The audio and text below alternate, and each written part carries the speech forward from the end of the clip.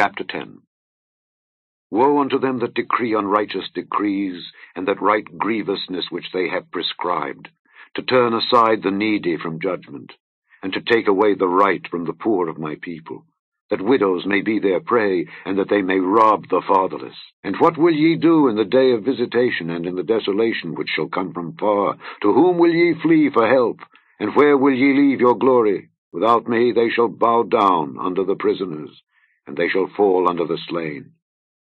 For all this, his anger is not turned away, but his hand is stretched out still. O Assyrian, the rod of mine anger, and the staff in their hand is mine indignation. I will send him against an hypocritical nation, and against the people of my wrath will I give him a charge, to take the spoil and to take the prey, and to tread them down like the mire of the streets. Howbeit, he meaneth not so, neither doth his heart think so. But it is in his heart to destroy and cut off nations not a few. For he saith, Are not my princes altogether kings? Is not Calno as Carchemish? Is not Hamath as Arpad? Is not Samaria as Damascus? As my hand hath found the kingdoms of the idols, and whose graven images did excel them of Jerusalem and of Samaria, shall I not, as I have done unto Samaria and her idols, so do to Jerusalem and her idols? Wherefore it shall come to pass, that when the Lord hath performed his whole work upon Mount Zion and on Jerusalem, I will punish the fruit of the stout heart of the king of Assyria, and the glory of his high looks. For he saith, By the strength of my hand I have done it, and by my wisdom, for I am prudent, and I have removed the bounds of the people, and have robbed their treasures, and I have put down the inhabitants like a valiant man, and my hand hath found as a nest the riches of the people. And as one gathereth eggs that are left, have I gathered all the earth, and there was none that moved the wing, or opened the mouth, or peeped. Shall the axe boast itself against him that heweth therewith? Or shall the saw magnify itself against him that shaketh it? As if the rod should shake itself against them that lift it up, or as if the staff should lift up itself as if it were no wood. Therefore shall the Lord, the Lord of hosts, send among his fat ones leanness and under his glory he shall kindle a burning, like the burning of a fire. And the light of Israel shall be for a fire, and his Holy One for a flame. And it shall burn, and devour his thorns and his briers in one day, and shall consume the glory of his forest and of his fruitful field, both soul and body. And they shall be as when a standard bearer fainteth, and the rest of the trees of his forest shall be few, that a child may write them. And it shall come to pass in that day that the remnant of Israel, and such as are escaped of the house of Jacob, shall no more again stay upon him that smote them, but shall stay upon the Lord, the Holy One of Israel, in truth. The remnant shall return, even the remnant of Jacob, unto the mighty God. For though thy people Israel be as the sand of the sea, yet a remnant of them shall return.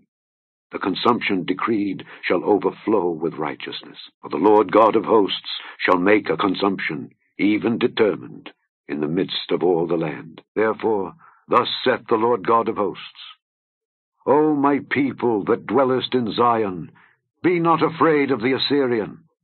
He shall smite thee with a rod, and shall lift up his staff against thee, after the manner of Egypt. For yet a very little while, and the indignation shall cease and mine anger in their destruction. And the Lord of hosts shall stir up a scourge for him, according to the slaughter of Midian at the rock of Oreb. And as his rod was upon the sea, so shall he lift it up after the manner of Egypt. And it shall come to pass in that day that his burden shall be taken away from off thy shoulder, and his yoke from off thy neck, and the yoke shall be destroyed because of the anointing. He is come to Aiath, he is passed to Migron. At Michmash he hath laid up his carriages. They are gone over the passage. They have taken up their lodging at Geba. Ramah is afraid. Gibeah of Saul is fled. Lift up thy voice, O daughter of Gallim. Cause it to be heard unto Laish, O poor Anathoth. Madmenah is removed.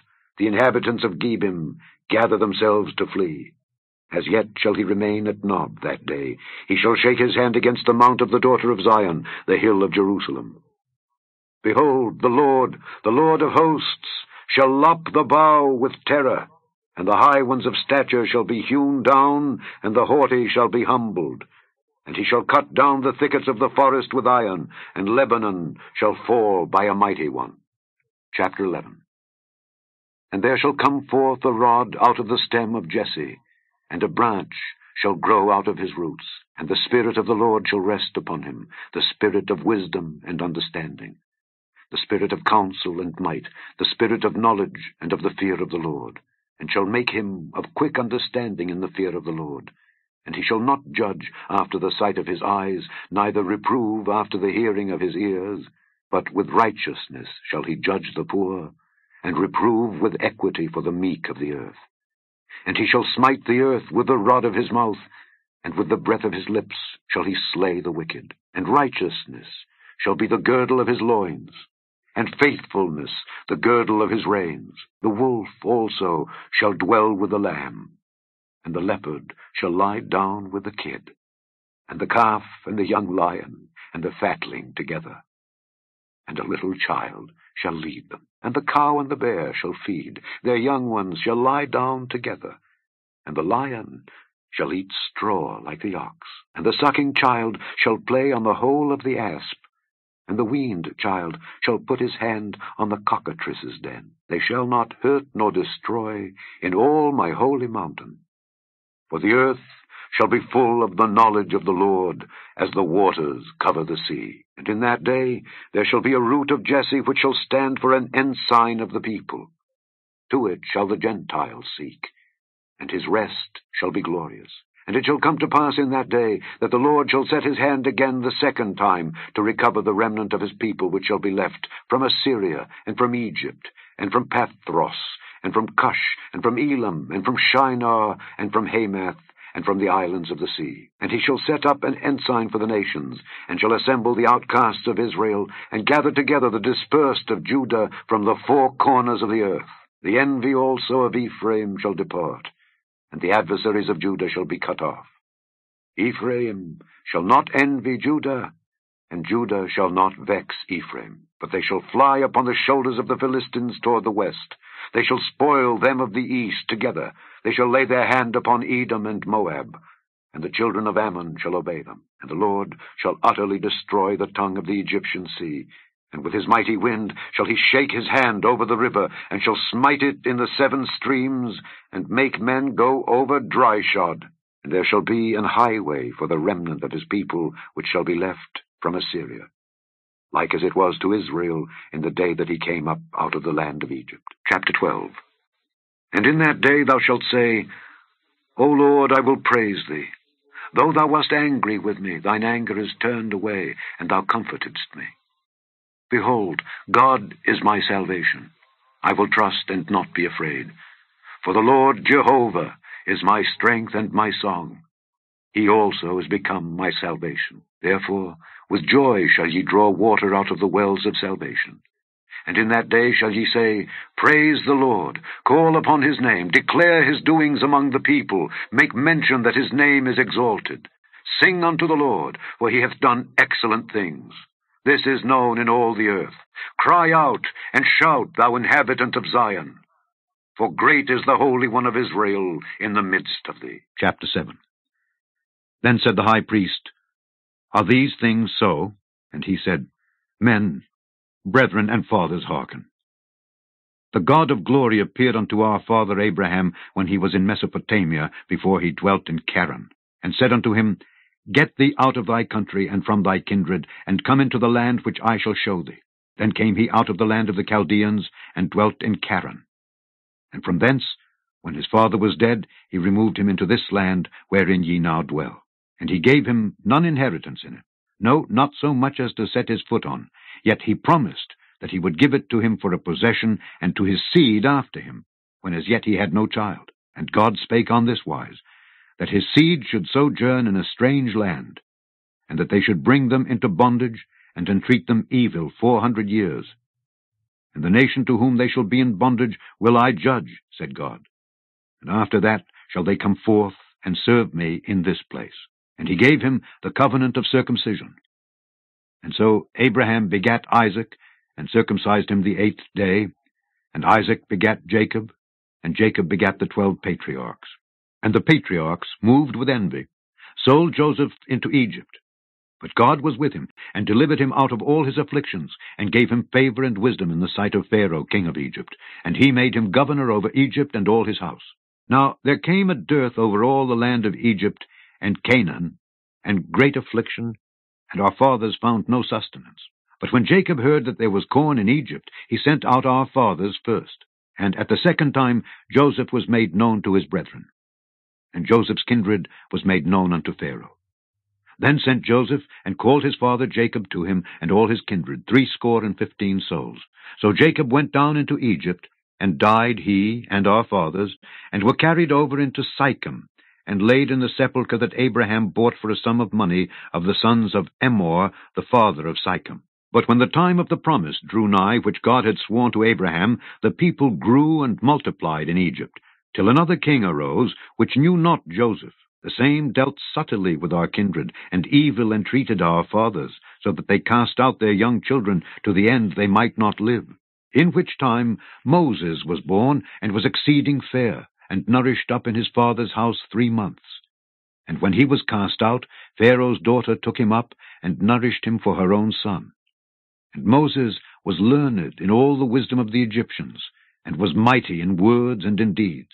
And when he was full forty years old, it came into his heart to visit his brethren, the children of Israel.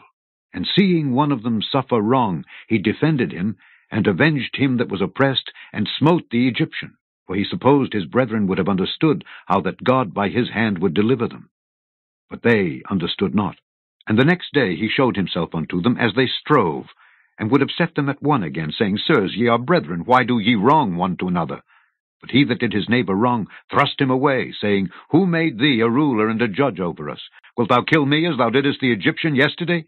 Then fled Moses at this saying, and was a stranger in the land of Madian, where he begat two sons. And when forty years were expired, there appeared to him in the wilderness of Mount Sinai an angel of the Lord, in a flame of fire in a bush. When Moses saw it, he wondered at the sight. And as he drew near to behold it, the voice of the Lord came unto him, saying, I am the God of thy fathers, the God of Abraham, and the God of Isaac, and the God of Jacob. Then Moses trembled, and durst not behold. Then said the Lord to him, Put off thy shoes from thy feet, for the place where thou standest is holy ground.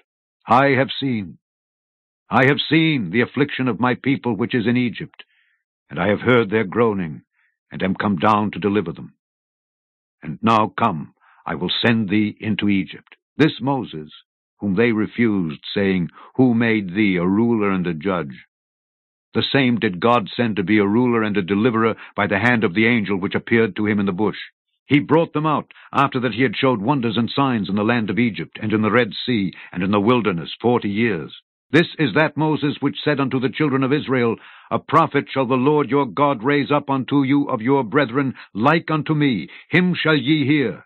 This is he that was in the church in the wilderness, with the angel which spake to him in the Mount Sinai, and with our fathers, who received the lively oracles to give unto us, to whom our fathers would not obey, but thrust him from them, and in their hearts turned back again into Egypt, saying unto Aaron, Make us gods to go before us. For as for this Moses, which brought us out of the land of Egypt, we wot not what is become of him. And they made a calf in those days, and offered sacrifice unto the idol, and rejoiced in the works of their own hands. Then God turned and gave them up to worship the host of heaven. As it is written in the book of the prophets, O ye house of Israel, have ye offered to me slain beasts and sacrifices by the space of forty years in the wilderness? Yea, ye took up the tabernacle of Moloch, and the star of your god Remphan, figures which ye made to worship them. And I will carry you away beyond Babylon. Our fathers had the tabernacle of witness in the wilderness, as he had appointed, speaking unto Moses that he should make it according to the fashion that he had seen. Which also our fathers that came after brought in with Jesus into the possession of the Gentiles, whom God drave out before the face of our fathers unto the days of David, who found favor before God, and desired to find a tabernacle for the God of Jacob. But Solomon built him an house. Howbeit, the Most High dwelleth not in temples made with hands, as saith the prophet. Heaven is my throne, and earth is my footstool. What house will ye build me, saith the Lord? Or what is the place of my rest? Hath not my hand made all these things? Ye stiff-necked and uncircumcised in heart and ears, ye do always resist the Holy Ghost. As your fathers did, so do ye. Which of the prophets have not your fathers persecuted? And they have slain them which showed before of the coming of the just one, of whom ye have been now the betrayers and murderers, who have received the law by the disposition of angels, and have not kept it. When they heard these things, they were cut to the heart, and they gnashed on him with their teeth. But he, being full of the Holy Ghost, looked up steadfastly into heaven, and saw the glory of God, and Jesus standing on the right hand of God, and said, Behold, I see the heavens opened, and the Son of Man standing on the right hand of God. Then they cried out with a loud voice, and stopped their ears, and ran upon him with one accord, and cast him out of the city, and stoned him. And the witnesses laid down their clothes at a young man's feet, whose name was Saul. And they stoned Stephen, calling upon God, and saying, Lord Jesus, receive my spirit. And he kneeled down and cried with a loud voice, Lord, lay not this sin to their charge. And when he had said this, he fell asleep. Chapter 8 and Saul was consenting unto his death. And at that time there was a great persecution against the church which was at Jerusalem, and they were all scattered abroad throughout the regions of Judea and Samaria, except the apostles. And devout men carried Stephen to his burial, and made great lamentation over him. As for Saul, he made havoc of the church, entering into every house, and hailing men and women committed them to prison. Therefore they that were scattered abroad went everywhere preaching the word. Then Philip went down to the city of Samaria, and preached Christ unto them. And the people with one accord gave heed unto those things which Philip spake, hearing and seeing the miracles which he did. For unclean spirits, crying with loud voice, came out of many that were possessed with them. And many taken with palsies, and that were lame, were healed. And there was great joy in that city. But there was a certain man called Simon, which beforetime in the same city used sorcery, and bewitched the people of Samaria, giving out that himself was some great one to whom they all gave heed, from the least to the greatest, saying, This man is the great power of God. And to him they had regard, because that of long time he had bewitched them with sorceries. But when they believed Philip preaching the things concerning the kingdom of God and the name of Jesus Christ, they were baptized, both men and women. Then Simon himself believed also. And when he was baptized, he continued with Philip, and wondered, beholding the miracles and signs which were done. Now when the apostles which were at Jerusalem heard that Samaria had received the word of God, they sent unto them Peter and John, who, when they were come down, prayed for them that they might receive the Holy Ghost. For as yet he was fallen upon none of them, only they were baptized in the name of the Lord Jesus. Then laid they their hands on them, and they received the Holy Ghost. And when Simon saw that through laying on of the apostles' hands the Holy Ghost was given, he offered them money, saying, Give me also this power, that on whomsoever I lay hands he may receive the Holy Ghost. But Peter said unto him, Thy money perish with thee, because thou hast thought that the gift of God may be purchased with money. Thou hast neither part nor lot in this matter, for thy heart is not right in the sight of God. Repent therefore of this thy wickedness, and pray God if perhaps the thought of thine heart may be forgiven thee. For I perceive that thou art in the gall of bitterness, and in the bond of iniquity. Then answered Simon and said, Pray ye to the Lord for me, that none of these things which ye have spoken come upon me. And they, when they had testified and preached the word of the Lord, returned to Jerusalem, and preached the gospel in many villages of the Samaritans. And the angel of the Lord spake unto Philip, saying, Arise, and go toward the south, unto the way that goeth down from Jerusalem unto Gaza, which is desert. And he arose and went. And behold, a man of Ethiopia, an eunuch of great authority under Candace, queen of the Ethiopians, who had the charge of all her treasure, and had come to Jerusalem for to worship, was returning, and sitting in his chariot, read Esaias the prophet. Then the Spirit said unto Philip, Go near, and join thyself to this chariot. And Philip ran thither to him, and heard him read the prophet Esaias, and said, Understandest thou what thou readest? And he said, How can I, except some man should guide me? And he desired Philip that he would come up and sit with him. The place of the scripture which he read was this. He was led as a sheep to the slaughter, and like a lamb dumb before his shearer, so opened he not his mouth.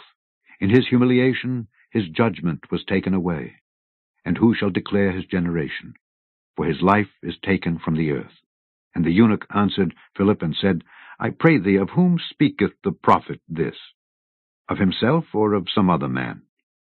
Then Philip opened his mouth and began at the same scripture, and preached unto him Jesus. And as they went on their way, they came unto a certain water. And the eunuch said, See, here is water. What doth hinder me to be baptized? And Philip said, If thou believest with all thine heart, thou mayest. And he answered and said, I believe that Jesus Christ is the Son of God. And he commanded the chariot to stand still, and they went down both into the water, both Philip and the eunuch, and he baptized him. And when they were come up out of the water, the Spirit of the Lord caught away Philip, that the eunuch saw him no more. And he went on his way rejoicing. But Philip was found at Azotus, and passing through, he preached in all the cities, till he came to Caesarea. Psalm 57 Be merciful unto me, O God, be merciful unto me. For my soul trusteth in thee. Yea, in the shadow of thy wings will I make my refuge until these calamities be overpast. I will cry unto God most high, unto God that performeth all things for me. He shall send from heaven and save me from the reproach of him that would swallow me up. Selah. God shall send forth his mercy and his truth. My soul is among lions, and I lie even among them that are set on fire, even the sons of men, whose teeth are spears and arrows, and their tongue a sharp sword. Be thou exalted, O God, above the heavens. Let thy glory be above all the earth. They have prepared a net for my steps. My soul is bowed down. They have digged a pit before me, into the midst whereof they are fallen themselves. Selah. My heart is fixed, O God. My heart is fixed. I will sing and give praise. Awake up, my glory. Awake, psaltery and harp. I myself will awake early.